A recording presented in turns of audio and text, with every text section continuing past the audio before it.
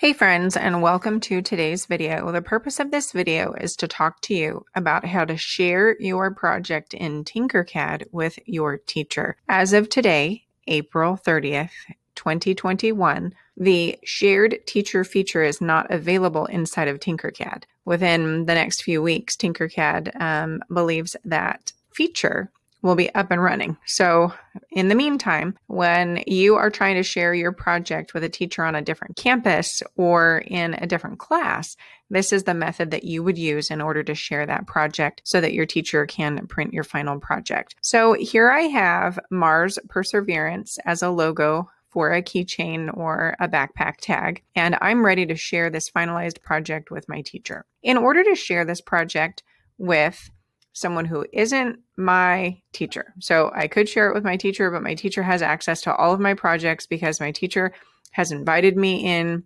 using a class code. So you wouldn't need to do this if your teacher has access to your classroom. In my situation, I'm helping multiple teachers across different campuses learn engineering and I'm facilitating those prints for them. So in my situation, I need students on a different campus in a different class to share their projects with me. So all the way over here, you're going to click the send to button. After you choose the send to button, you're going to move all the way down the screen until you see this button down here that says invite people. And I'm going to click one time.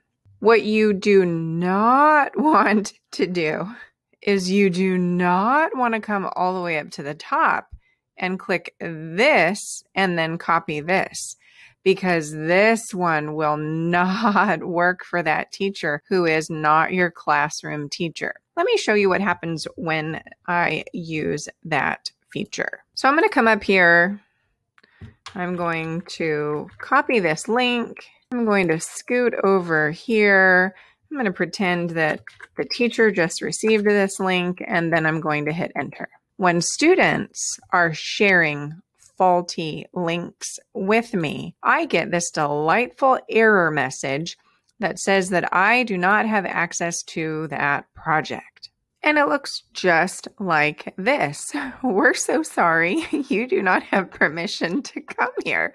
So, friends, please do not click the link up at the top and share that fantastic link with me because when I get it, it will not work. So, friends, Here's the strategy. Once you've had a chance to go in and you have copied the link using the send to button, your teacher has provided a Google form for you inside of Google Classroom. Please come through here and fill out all of the characteristics of that Google form. Enter your email address.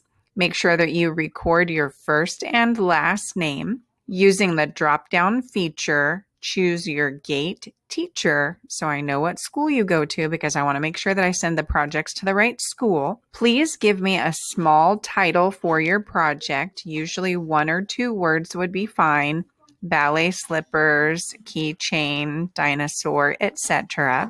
And then using this space right here where it says Tinkercad link, you're going to click one time. You're going to hold control down on your keyboard. You're going to touch a V for victory and the link will appear here.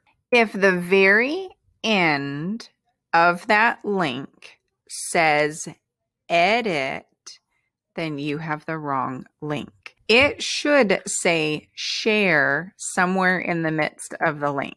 See right here, I've had a chance to scoot, scoot, scoot over into the middle of the link and it says share code. As long as it says share code somewhere in the middle, you have exactly the correct link. If the link ends with the word edit, the very last item, the very end of the link says edit, you do not have the right link. Friends, make sure that you have the correct link in this space. And I cannot guarantee you at all that you have the ability to choose the color that you want. If you want your first choice to be blue, your second choice to be red, your third choice to be gray, green, I don't really give you a fifth. Um, if there are certain ones where you're like, nope, nope, nope, I really don't want those. I super want green and I super want black equally, then you can choose those. Or you can easily just come through here and say anything is fine. Let me draw your attention up to this particular area over here. If I am not able to provide you with a choice, you're just going to get what you get. That, it's just how it works, friends. There are times where I do have the ability to say, hmm, I wonder what color this friend wants. And then I can choose a color from the colors that I have. Other times, I don't have the option of choosing a color, so you just need to be satisfied with what you have. If you have any additional feedback down here, questions, concerns, etc., go ahead and respond in this space.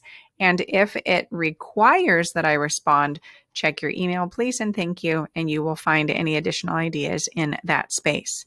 If your print has not come back and you submitted your request three weeks ago, please check your email. You might have some feedback from Mrs. Culver on, hey, wait a minute, I'm not sure if this one's functioning properly. Can you look at this again? Can you look at that again?